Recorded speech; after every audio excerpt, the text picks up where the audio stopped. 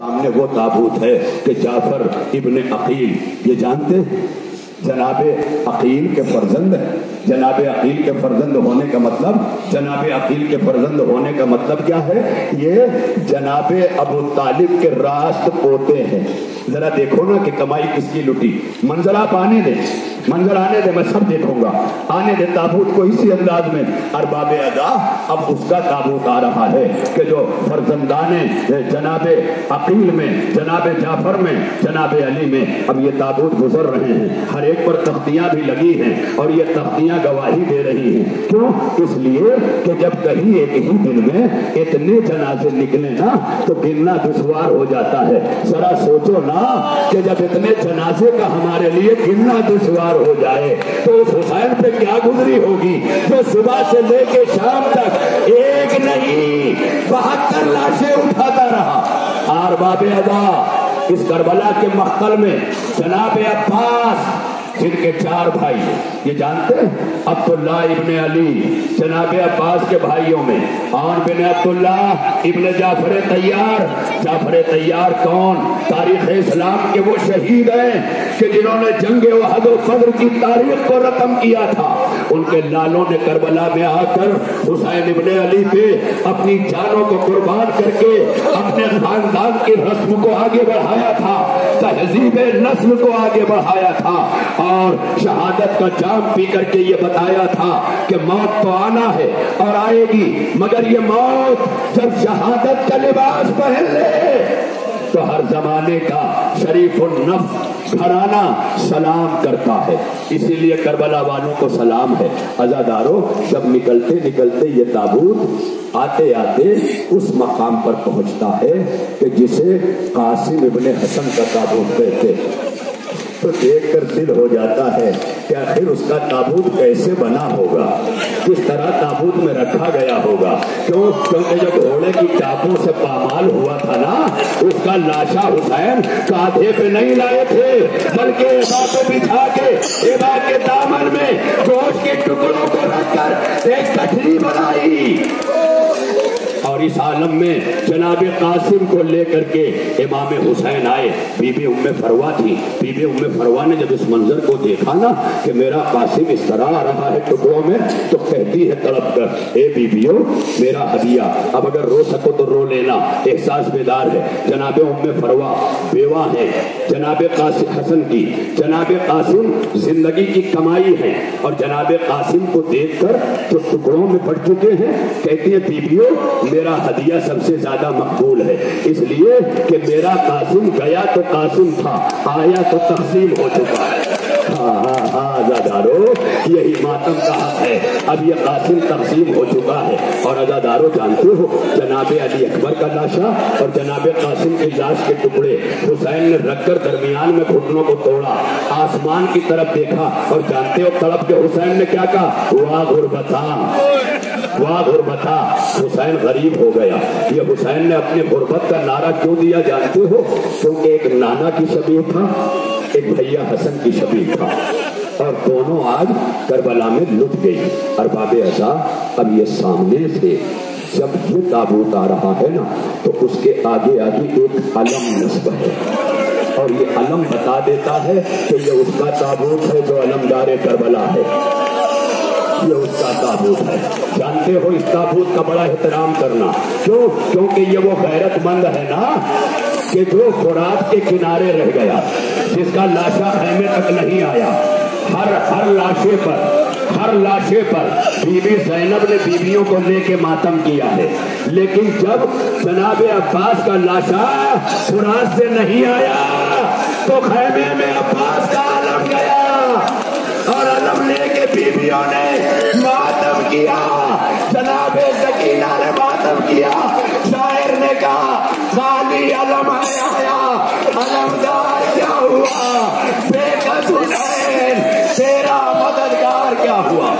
ہار باب ادا، یہ علمدار کربلا، جس کی وفا کے تذکرے حسین نے کیے، جس کی غیرت کے تذکرے جناب زینب نے کیے، بڑا ناس تھا۔ جناب زینب کو، اب ازادارو جانتے ہو کیوں؟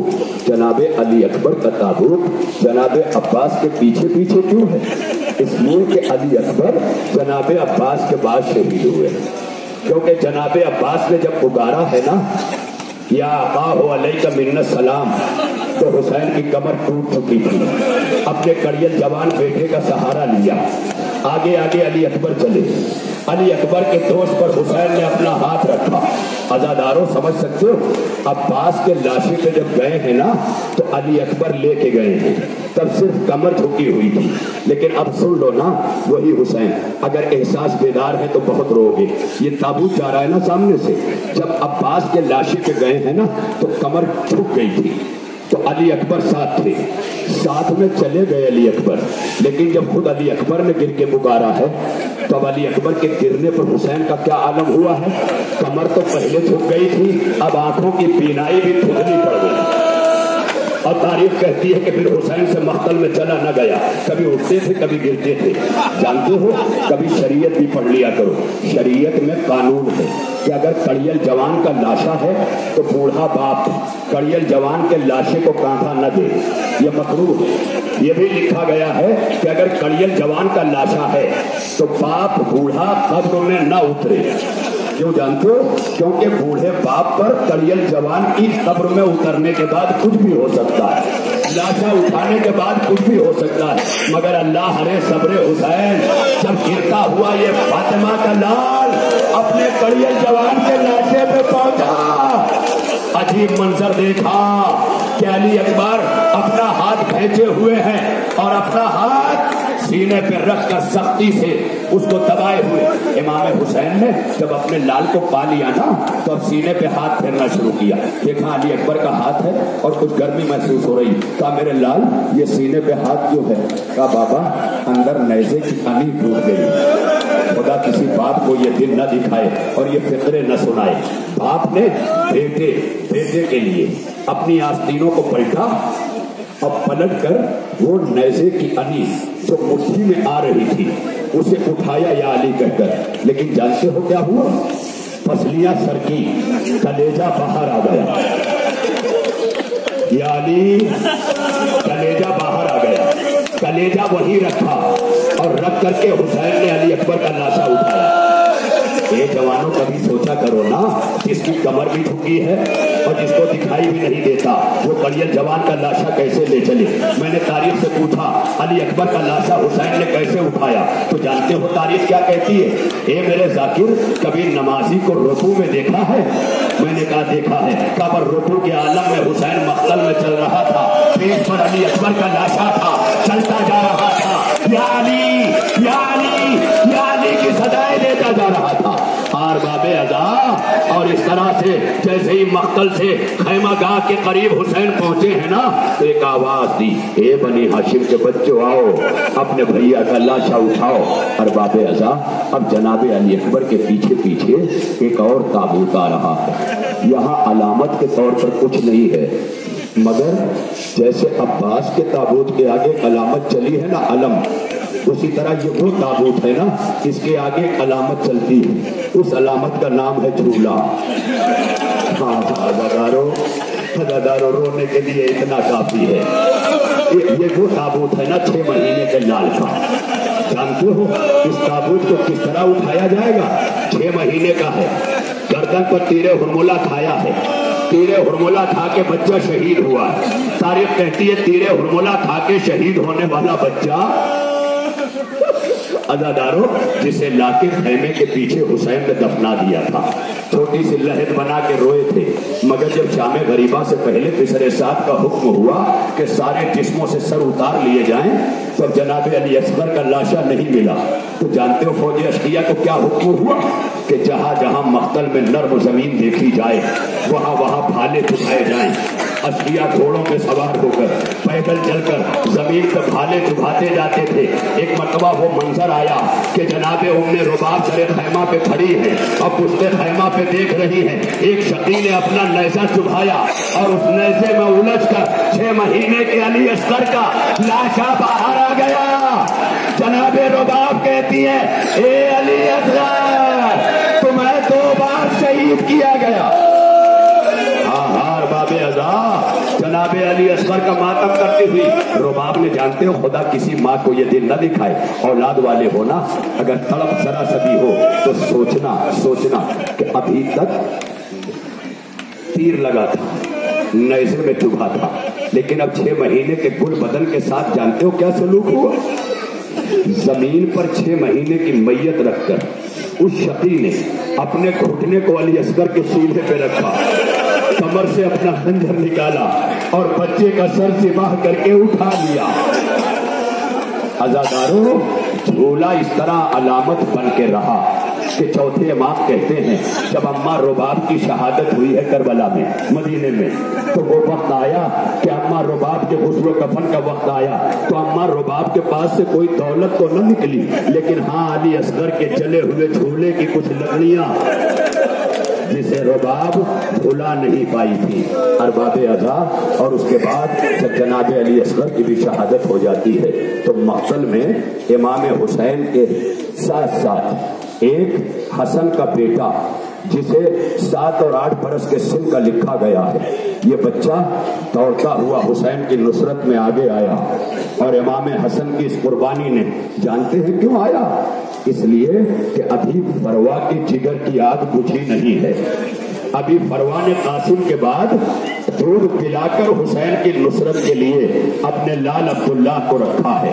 اب یہ وہ عبداللہ ہیں کہ جنہوں نے نصرت حسین میں شہادت حسین سے پہلے اور اس کے بعد ایک اور بچے کا ذکر آتا ہے کہ جسے فضل ابن عباس کہتے ہیں۔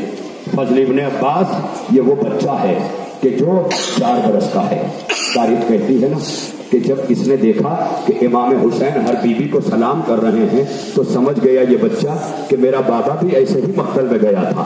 واپس پلٹ کے نہیں آیا۔ علمدار کا بیٹا ہے نا؟ غیرت دار کا بیٹا ہے۔ وفادار کا بیٹا ہے۔ لہذا وفا، غیرت، علمداری وراثت میں رکھے ہوئے۔ اس بچے نے جب یہ منظر دیکھا کہ مرتبہ ماں کے پاس بھاگ کے آیا، اماں اماں، میرا بابا جا کے واپس نہیں آیا۔ لیکن اب تو بہن سکینہ کا بابا بھی جا رہا ہے۔ ازاداروں اس جملے سے آپ کیفیت کو سمجھ رہے کیا ہے؟ یہ بچے نے کیا کہا؟ کہ اب سکینہ کا بابا بھی جا رہا ہے۔ مطلب یہ کہ میں تو یتیم ہو گیا۔ لیکن اگر سکینہ کا بابا گیا تو میری سکینہ یتیم ہو جائے گی۔ تو جانتے ہو ماں نے کیا کہا بچے سے؟ بیٹا، جب علمدار مارا جاتا ہے نا، تو سردار لشکر کو جانا پڑتا ہے۔ تو بیٹا پلٹ کے کہتا ہے اما کیا میں علمدار نہیں بن سکتا?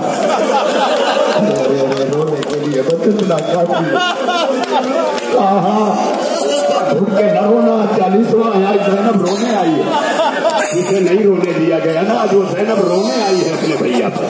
یہ سوچ کے رونا میری ماں اور بہنوں کہ تمہیں زینب کے آنسو سے اپنے آنسو ملانے میرے بھائیوں تمہیں سید سجاد کے ساتھ رونا ہے۔ ارباب ادا تاریخ کہتی ہے کہ بچے نے جب ماں سے یہ سنا کہ ہاں میں علمدار بن سکتا ہوں، تو جانتے ہیں بچے نے کیا کیا؟ ایک ٹوٹا ہوا نیزا اٹھایا۔ کیونکہ اس نے دیکھا تھا کہ میرا بابا ٹوٹا نیزا لے کے گیا۔ ٹوٹا ہوا نیزا اٹھایا اور اپنا دامن اٹھایا۔ دامن اٹھا کے پھاڑا۔ اور پھاڑ کر اس نیزے میں باندھا۔ اور ماں کے پاس آیا۔ کہ ماں میں علمدار بن گیا۔ جب ماں نے علمداری کو دیکھا تو سینے سے لگایا۔ ماں سے چھوٹ کر یہ بچہ حسین کے پاس آیا۔ بابا نہ جائیے۔ آقا نہ جائیے۔ میں علمدار بن کے آ گیا۔ اب کوئی حسین کے دل سے پوچھے نا۔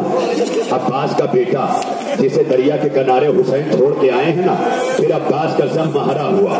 بچے کو دیکھا اور ایک مرتبہ اٹھا کر حسین نے چاہا کہ بچے کو پیار کرے۔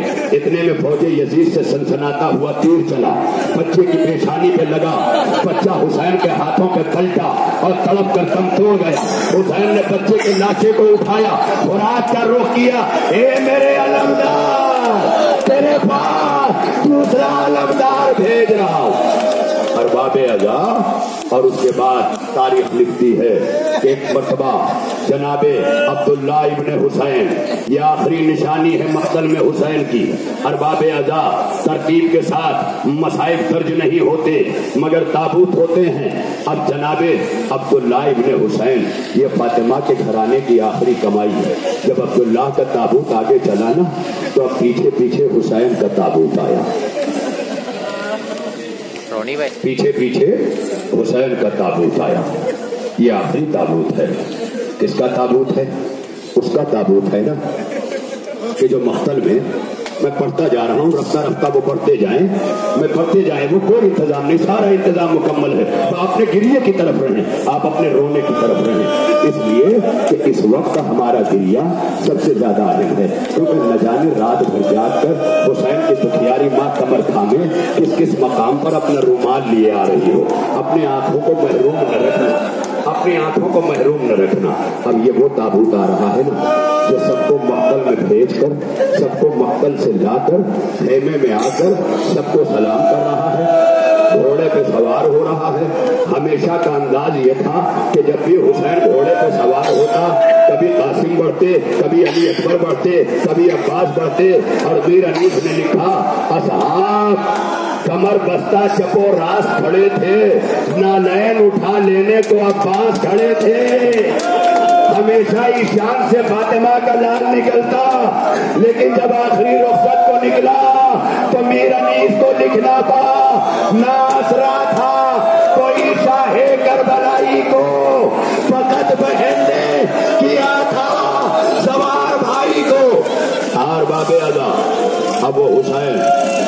حسین کی طرف۔ گھوڑے پہ سوار ہوا۔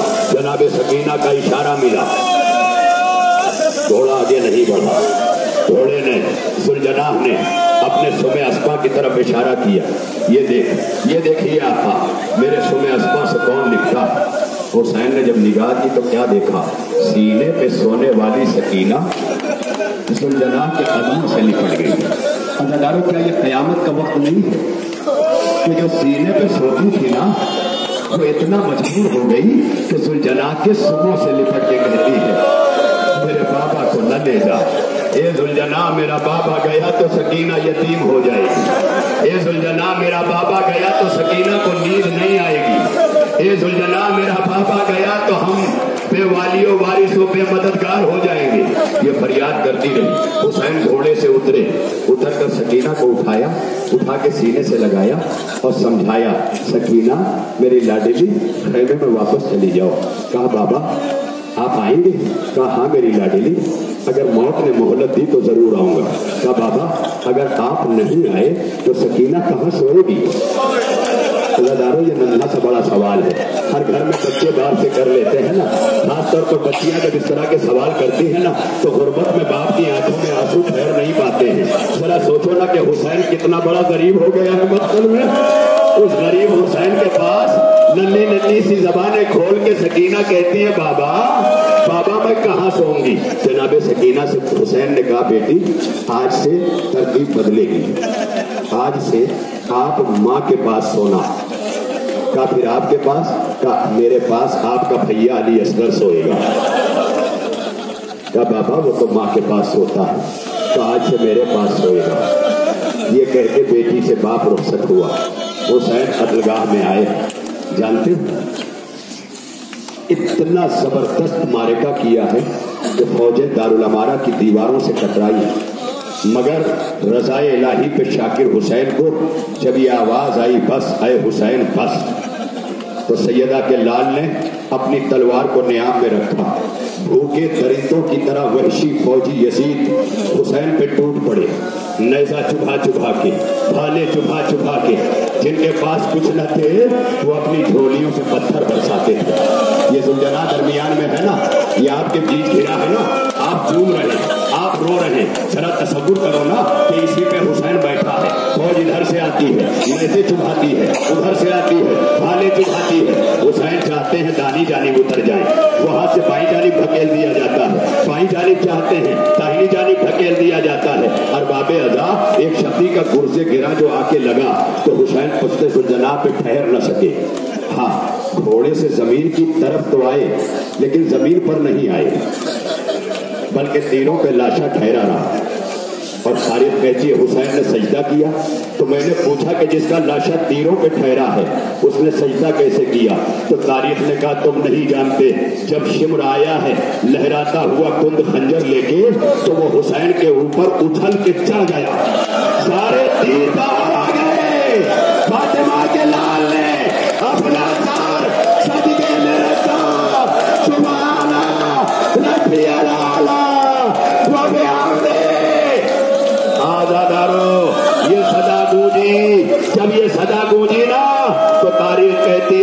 کہ شمر نے پسے گردن سے خنجر چلا دیا۔ ارے یہ سلجنا تھا کہ جس نے اپنی پیشانی، خون میں رنگ لی ارے مقتل سے خیمہ گاہ کی طرح، سرے خیمہ پہ سکینہ بیویوں کو لیے کھڑی ہیں۔ سلجنا سے لپڑ گئی اے سلجنا میرا بابا کیا ہوا؟ اے سلجنا میرا بابا کہاں رہ گیا؟ سلجنا نے زبان بے زبانی سے کہا اللہ قتل الحسین بے کربلا اللہ سب الحسین بے کربلا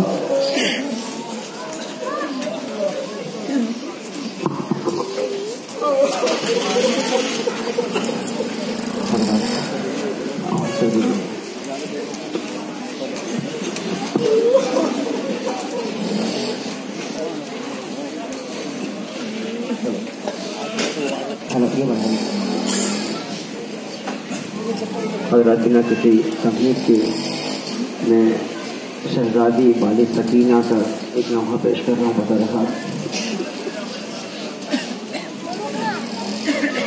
بابا